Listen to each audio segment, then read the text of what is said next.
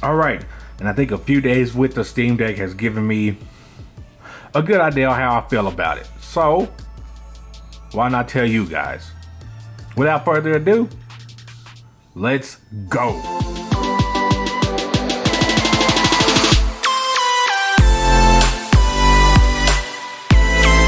we're gonna get everybody's favorite specs out the way. Uh, AMD APU, 16 gigabytes of DDR5 RAM. The model I have is 512 gigabytes of high-speed NVMe SSD.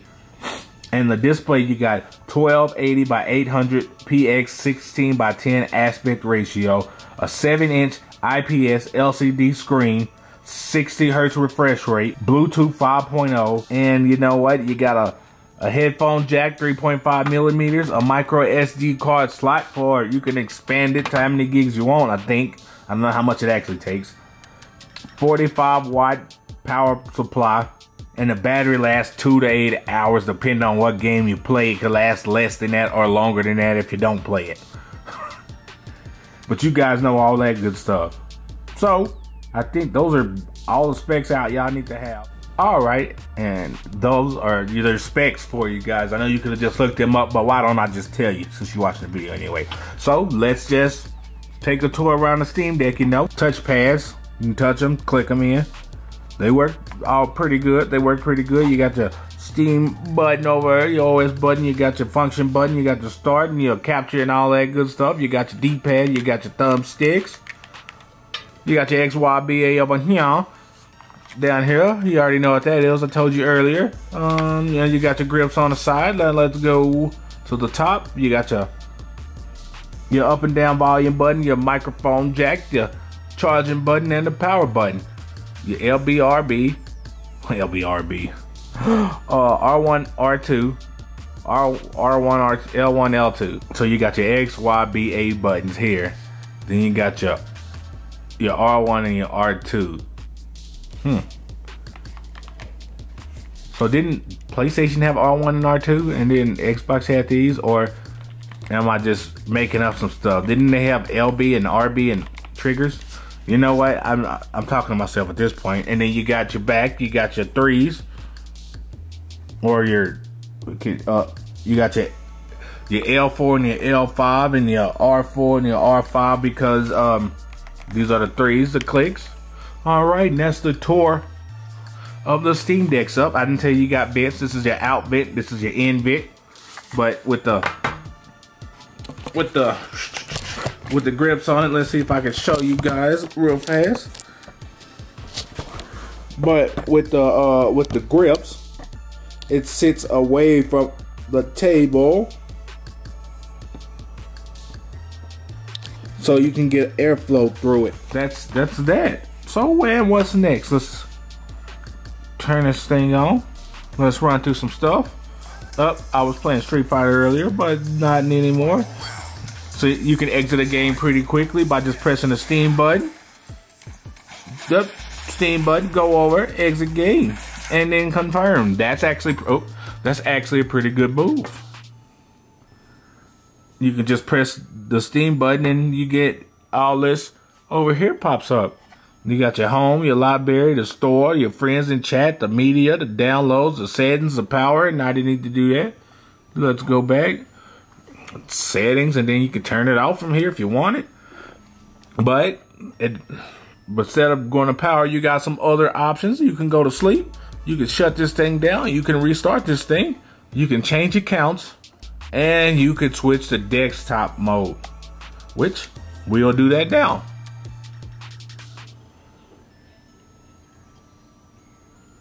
And look, it's all on desktop mode. Now you're back up in here, all up in here. And this is where you can get your Blizzard. Your Blizzard.net if you want to do uh, Call of Duty or whatnot off, off Steam OS. And if you wanted to go back, you could just, they have a button right here. A button. You can they have an app you can just click on and a few moments later, which didn't take that long, bam, you're back in Steam OS. Okay, well, a little longer than I thought it would be. Okay. Oh, I had to restart to do it, I guess. I didn't think it had to earlier. All right, now we're back in Steam OS. And then you can turn it off. You know, you can just either go to what I just showed you or you can press this button. Bam. Now it's off. And put come on, bam, now it's back on just that fast. That's something I do like actually like. And then on this side, let's go ahead and get this one out the way.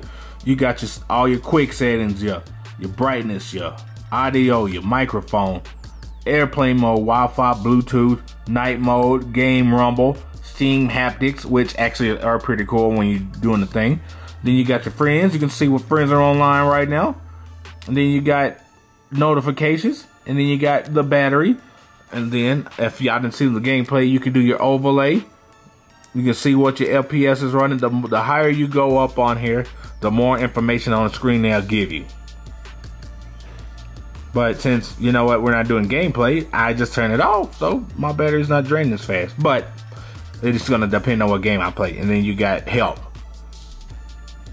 Other than that, you get your Steam Deck, you play with it, you download it, and the updates will pop up on the screen. And that's that. That's ba that's the basics of it, man. That is the basics of it. I can't wait for you guys to get your own and you can start playing with it yourself. Giggly. That's some things you might want to know when you come when you get your own.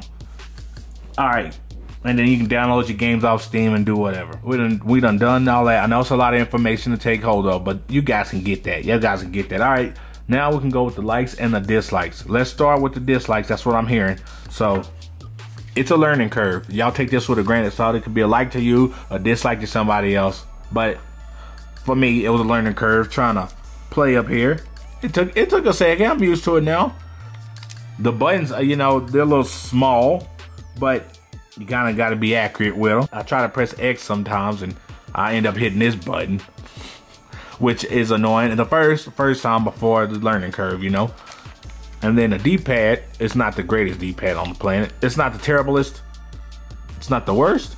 Yeah, it's not the worst, but it's also not the greatest D-pad. But it works. The thumbsticks are okay.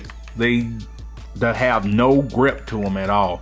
Like it's smooth surface. It it is so smooth. And they're, they're small, but you're gonna need some thumbstick grips.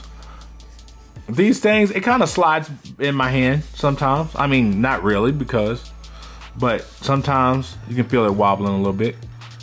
And then one of my most terrible ones that I didn't didn't like was um that the RB is so far back instead of on a see when I first started playing this I wanted to press up here but that wouldn't do nothing so it's down here and I kept getting on my nerves at first, but now it's, it's starting to get better. But I wanted to go move higher than I thought I would. But the only gripes I got was the buttons. The the, uh, the worked marvelously. Oh, and the grips. They they work they work great. I just wish they were a little wider. That's all. I just wish like. I mean, you can grab them, you can grip them like this, but your hand is kind of like squished in they're a little wider, they'd be better, but they they're not a deal breaker for us. We ain't gonna call them bad. We're just gonna call them neutral. That's all I got for them. Other than that, it's a great device. The good things, good things. They're the best grips in the game right now, man. They are. It fits. It fits nice. I don't feel it. I mean, I wish they were wider, but the deepness of it, at least to get my whole hand around it, and I don't have to choke off the. I don't have to choke off the the vents on the back trying to hold it. So I wish they're a little wider, but I don't feel myself going to the vents. Uh, I like the the OS system that I showed you a little while ago. I like all that quick functionability. I like how fast it turns on and off. I like how fast it turns on and off. The volume is great. Uh, I don't feel it getting hot at all. Uh, and then I'm glad they put that function on there where you could uh, go straight to the desktop and you can get Call of Duty on it because you know it's not in Steam, so you got to go out to go in. I mean, the gameplay's good, the screen is excellent. I, I wish it was bigger, but it's fine. I mean, it's fine. The the grips on the side, I wish the grips over here, like the, the handles or whatever, had a little grippiness to it. And they wasn't so smooth. Because just like this, it's a little Wish I had a little grip to it. Yeah, I could put You know what? Another dbrand skin over here, but yeah, I don't think so. It looks nice that way. I mean, it plays almost every game I throw at it, almost, because you know they're still adding new games every day, but not all the games work on it. You got, but you guys know that going in. You can go to Steam right now and see if your library is compatible with it. So when you get it, you know what games you can't play. Oh, okay. Uh, this thing is a monster, and I actually pretty, and I actually like it. So, but I guess while we're here, we can give you guys a little size comparison. Let's see.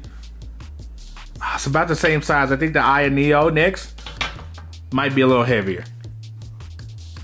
Yeah, it's a little heavier. Okay.